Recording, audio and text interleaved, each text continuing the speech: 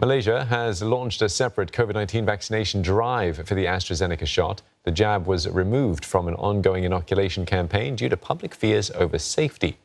The latest initiative is for people who voluntarily choose to receive the AstraZeneca vaccine.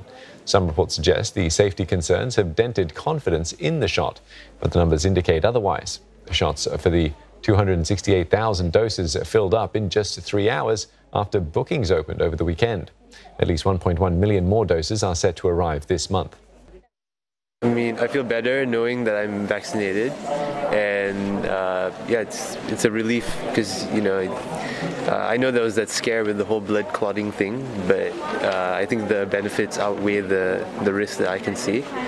I think I'm very confident uh, that uh, since the government is approved, and also many people have taken this uh, uh, vaccination, I'm full confident that this should not be a problem.